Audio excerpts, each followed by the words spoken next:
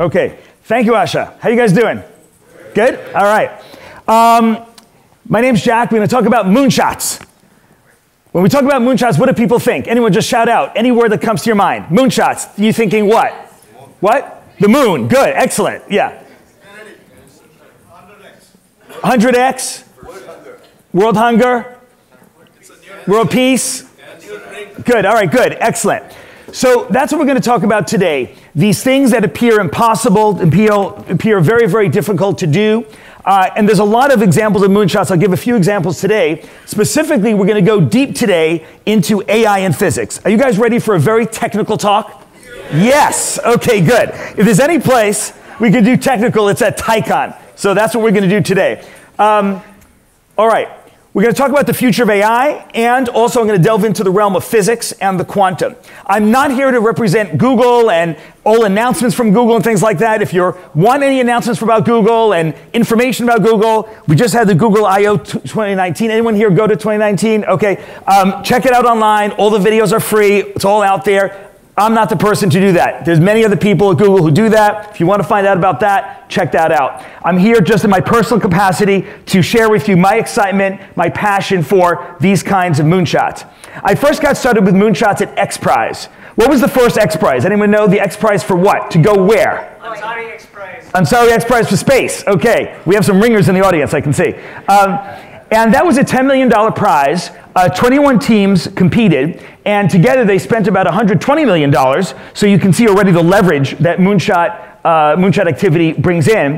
And sure enough, one of the teams, Burt Rutan's team, did create a vehicle that went to space twice in two weeks with a human and won the $10 million prize. And that now became the company called Virgin Galactic. Virgin Galactic, that's right. So Virgin Galactic came to the winning team, Burt Rutan's team, and said, Wow, congratulations, you won that prize from X Prize. We'd like now to license that technology and make Virgin Galactic. Within the next two years, I'm hearing from uh, George and the team at, uh, at Virgin Galactic that people in this room and others will be going to space. So it's an exciting moment to see the fruition of that. Um, Anousheh Ansari and her family endowed that prize, and Anousheh is now the CEO of X Prize. And so it's great to see that activity. One of the other prizes right now is Global Learning Prize. Global Learning Prize is a $15 million prize, and that really hits the 400 million people, uh, adults who cannot read, and the 400 million children who don't have good literacy. And so the prize is $15 million, and everyone gets the same tablet. It's a very, very inexpensive tablet that has a camera and basic stuff on it, uh, like a tablet this size and the prize is for the software. Can, you, can your team develop software that a child or an adult on their own with no instruction, no teacher, can teach themselves how to read, write, and do basic math? And that is going on right now. It's a very, very exciting prize. So that's another example of a world changing moonshot thinking. Can we teach 800 million people to read with no teachers? And that's happening right now. There were 10 finalists announced, and the biggest prize is being announced very soon. So I want to now talk about um, how, in part, I came to have a very deep connection with the people and the land of India. And that was through initially the X Prize. I don't think I have to introduce who's on this slide.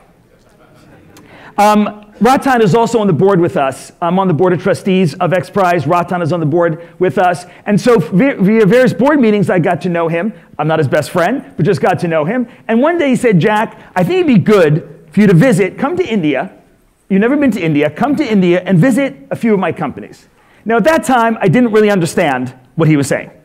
I figured maybe he has five or six companies, maybe seven, maybe eight. And all I can tell you is that over the course of the next months and years, I've only been able to visit about 20% of the Tata companies. Um, I have been to Tanishq stores to buy jewelry. Um, I have checked out plantation fields to check out the tea in the South.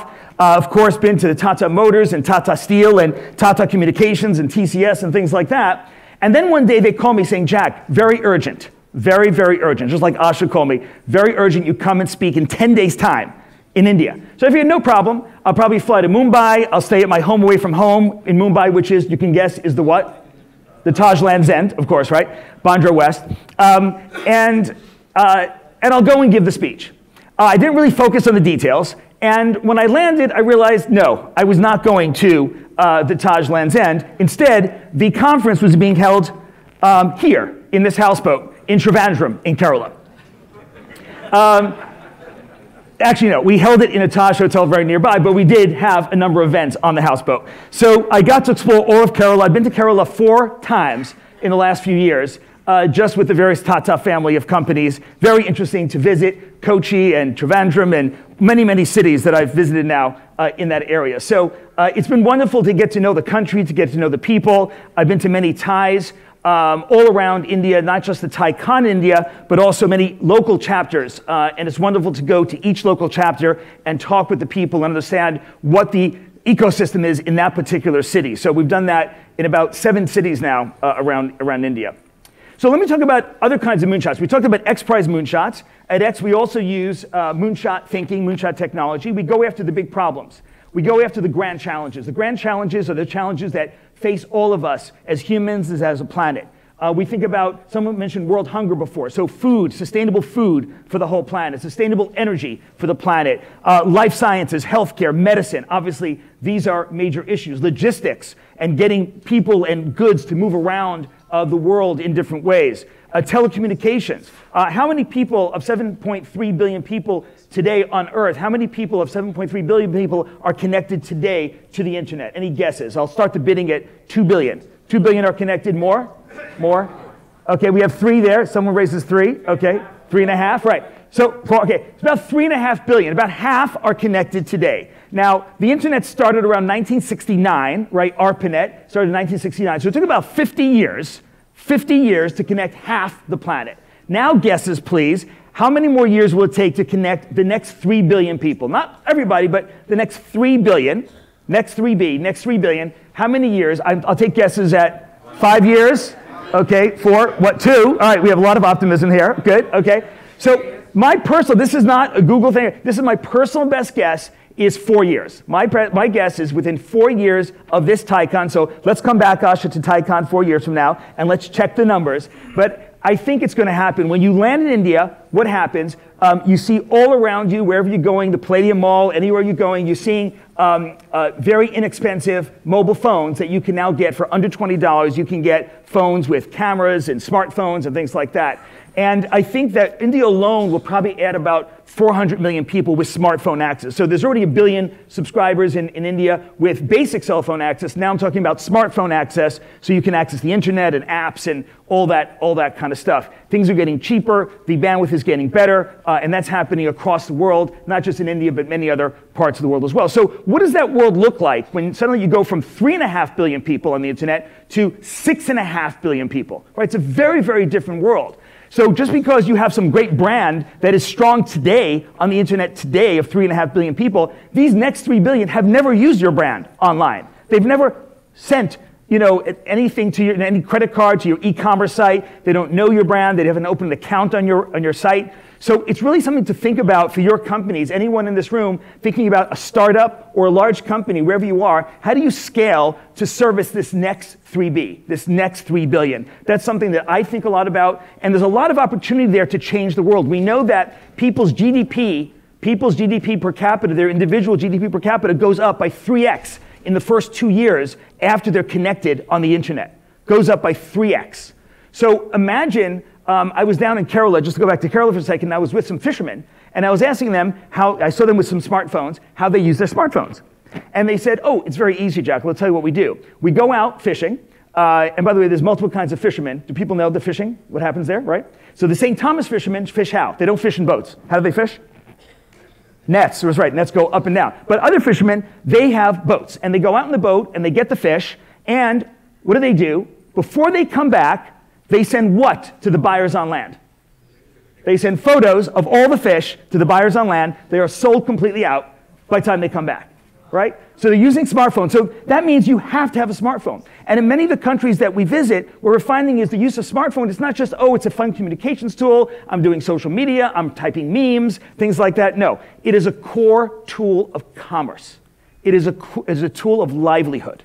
So it's a very, very different mentality than for us who may have 17 million devices, laptops, things like that. This is the device. This is it. So we think a lot about that. Um, we look at a lot of different ideas every single year. A few of them actually make it through. These are some of the recent graduations. Uh, and so Waymo, self-driving cars graduated. Verily, life sciences graduated. Google Brain. Loon is a wonderful technology with balloons to uh, be able to access the internet where there's no possibility of running fiber and things like that. Uh, Chronicle is a wonderful cybersecurity company. Wing is uh, uh, autonomous drones.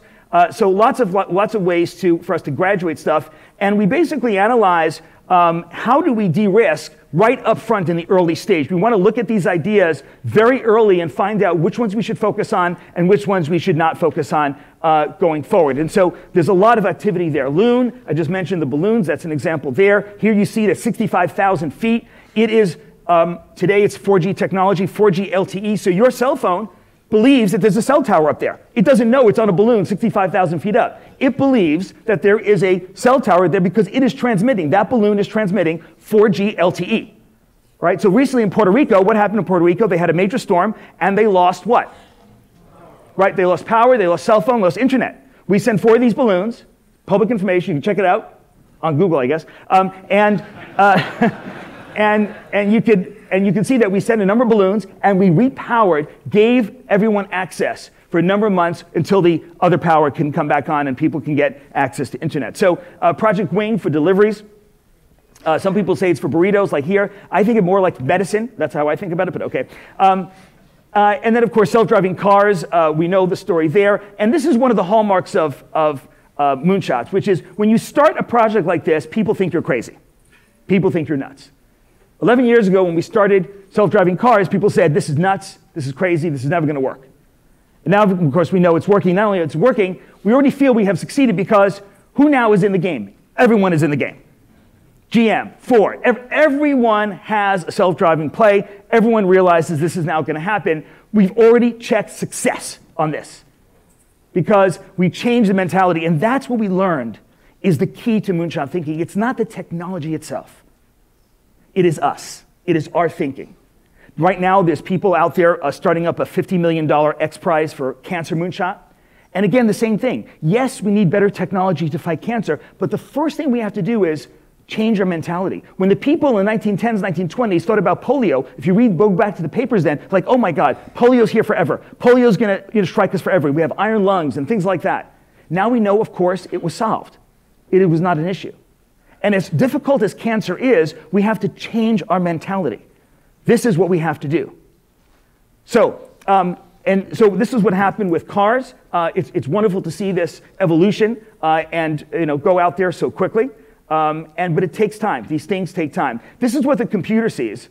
Uh, I recently was in one of the self-driving cars, and uh, they have screens now in the official one that if you go to Arizona and go to the live one in Arizona, you can see that uh, it's a nice screen that shows you what the computer's seeing. And I think it gives people a lot of peace of mind, right? To know what is the computer seeing, right? What is the computer seeing? This is what the computer sees the pedestrian, sees the stroller, sees this, sees that. Uh, and that is something that is very exciting. And then and with moonshots, people do think you're crazy initially, but then they realize that's that. Now, what famous person, maybe from India, said something similar about maybe first they think you're crazy, then they fight you, then you win. Gandhi, right? And so, very, very similar situation, right? That um, you have a situation where people initially are against you, they don't believe this is happening, they don't believe it's possible, and then suddenly, over time, you make it mainstream, you make it possible. Um, here's a recent example of some interesting uh, work that we published online regarding grasping for robotic arms. Uh, and we had to train it using physical arms initially, and then we realized, you know what? We can actually um, use a simulation. We can actually recreate the robotic arm in a simulation on a computer program, no physical arm anymore, and we can actually accelerate by many times. And so this is an example of moonshot thinking when it comes to robotic arms. So this is already happening uh, right now. So let's kind of get into AI now. Okay, AI, there's many different parts of AI. It's very, very confusing. It's very crazy. So let's try to break it down a little bit, and then we'll get into um, what's going on. Okay, first of all, big data. We need big data for AI. Big data is not just the fact that it has a lot of volume. A lot of people focus on the volume. It's not just the volume, right? By the way, I'm going to create an app. Would people use this app? Because often I'm in an audience and I see a slide, I want to take that slide. So instead of just taking a picture, it'll grab the picture and turn it into an actual slide deck, right? Okay, all right. We're going to create this app. We're going to launch it at TiECon next year. All right. Asha, you're in? Okay. Um, so It always happens. I'm at a lot of science conferences, and there's a very complicated slide with lots of data and things like that. You want to grab it, but then you want it to make a slide out of that, and then you can share the slide and go from there. Anyway, uh, that technology is coming soon. That's another moonshot. Um, velocity. What if you want to do stock trading? You want to do something that is moving very, very quickly, real time kind of trading. Obviously, that's also another kind of big in big data. The, the volume, the, the velocity is very, very high. Variety also is very important. If you want to do healthcare, AI in healthcare, why is variety important? Variety is important because if you just train your data set on patients from one particular place, one particular neighborhood, one particular ethnicity, what's the problem with that? Bias, Bias right? And so, oh my God. All right, well, we have to move quickly. Okay. Um, so let me move on now because I want to hit some of the ideas um, about the future of AI, the moonshots in AI. We know that AI initially was inspired by the neural networks in our brain. These are neurons in our brain. You put them together. This is an abstraction of that. Um, and we know that um, you know, when we, we kind of link all these things up, cat, dog, things like that, we can train it. We can say, hey, network, I'm going to show you lots of cats, I'm going to show you lots of dogs, and then over time you can retrain your weights so that we can get it right. If, if we show it a cat and it says dog, we say bad network, and it retrains itself, and then it goes from there. Um, and we can you know, do all those kinds of features. There's a whole zoo. If you look up neural network zoo online, you'll find this zoo, this different architectures of neural networks. Um, and you can apply this in oncology. There's lots of different applications uh, medical imaging, genomics, drug discovery, all kinds of good stuff. But there's something inherent. This is 1943, McCulloch Pitts. This was the original paper where neurophysiologists realized that maybe we can make an artificial neural network. This was the original paper. This is where it started. And we have to go back. If we want to think about moonshot thinking in AI, we have to start questioning our assumptions. Since 1943, we have essentially not changed the core of the node. I've changed the architectures. I just showed you the, the, the, model zoo, all the different architectures of different kinds of networks. But we have not changed the underlying node itself, how the node itself sums up information and passes it to the next node. Maybe it's time to question that. Maybe there's a moonshot in there. If you want to collaborate on that, please contact us. I'll provide my contact information at the end. Um, we're also looking at this question the non-overfitting puzzle or the, gen- or the generalization puzzle. This is a very, very deep question right now in AI. And so the question right now is, we know that AI works, we know that deep learning works, but the question is, how does it generalize? When I say generalize, I mean that you could train it on one data set, and it does well, and then you show it a new data set, and it also does well. That means it generalized, right? It went from here, didn't just memorize it, it generalized. And the fact is, it's working. It's working in all kinds of areas, but we don't know exactly how it's working. Again, if you're interested in that area, you want to collaborate on that. We're writing lots of papers. We're investigating. If you go to arXiv.org, people sometimes uh, look to news, to various news outlets. My recommendation to you is go to this free, open, nonprofit website, arXiv.org. We say, we pronounce the X as ka, archive like chi, the Greek letter. And uh, you can type in my name as an example if you want to. You can type in your name, type in any name you want to, um, and you'll find papers by that person. And this is really where the cutting edge stuff is shared. We don't wait to read it in the news areas. We go to arXiv and we share our papers and our science together on this website. Uh, it's a free, open website, so I recommend checking it out. Um, uh, I do want to mention one thing about AlphaGo, which is this T-shirt. Does anyone have this T-shirt yet? No. Maybe next time I should bring these T-shirts. Okay. Game two, move 37. What was game two, move 37? Right, so this is in the game of Go, game two, move 37, and this was a question of um, in game two of the computer versus the human, the best human in the world in Go, it looks like the computer made a mistake.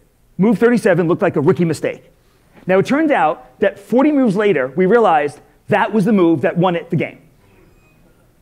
And so we're realizing that Go, the game of AlphaGo, the, the player of AlphaGo, the computer, is not playing our kind of Go. It's playing a different kind of Go because of the way it was trained and things like that. We don't have time today to go into that, but I encourage you to look up Game 2, Move 37. Now, let's spend just a few moments on the quantum realm, and then we'll wrap up.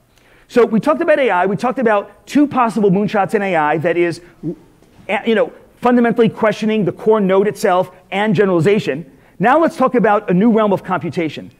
All of our lives, the whole, you know, whole Silicon Valley industry, we've all been focused on the upper left quadrant. Classical, classical. We have classical data coming out of sensors, coming out of transaction databases, things like that, and it's being processed on a classical processor from Intel, from any, you know, AMD, NVIDIA, so on and so forth. Classical to classical. All of us in this room, all of us here in Silicon Valley and around the world, we're about to enter a new era of computation. An era of computation where we're not limited to classical information coming out of sensors, and we're not limited to processing it on classical. So, for example, we can go into the bottom right quadrant, QQ. This is something that has not been explored yet. So again, we've all been in the upper left. We're about to enter into new realms. And there's three core areas of quantum information sciences that I commend to you. If you're a venture capitalist, if you're an entrepreneur, this is an area ripe for entrepreneurship, for investment. This is some of the next trillion dollar companies will come from this area right here. Three areas quantum computing, quantum sensing, quantum communications. A lot of times people come up to me and say, Hey, Jack, tell me more about quantum computing. I say, Yeah, I'll happy to do that, but don't forget two other big pillars to this sensing and communications, right? So when we think about what's needed for this is all you need is a few qubits, a few of these special little kinds of bits, quantum bits, we say qubit, quantum bit, qubit. Um, for quantum cryptography, quantum communication, you only really need a few bits, qubits, and quantum sensing, only a few tens of qubits, which we have today. Quantum computation, we need even more, but the fact is we can do that. Quantum communications, what is that? That is when you can send things very securely, unconditionally securely, via either fiber optics or a satellite. You can read more about that. We don't have time to go into that today. But this is causing a lot of interesting headlines around the world. It's being published in physical review letters, in arXiv. You can look up all this information. And when we get to quantum um, uh, computing, we can simulate physics itself with these kind of computers. Richard Feynman, the famous physicist who won the Nobel Prize, realized that nature itself is not classical, is, is not classical, it is quantum. Therefore, if you have a classical machine, i.e., any of the machines that we have today, then you will not be able to catch up to all the dynamics of physics itself. If you wanted to, for example, model two drugs perhaps interacting, two molecules to make a new drug for drug discovery, if you wanted to model a new kind of laser so that you can make new kinds of lasers for various applications in medicine or other, other areas, you cannot model that with a classical computer. You'll always fall short.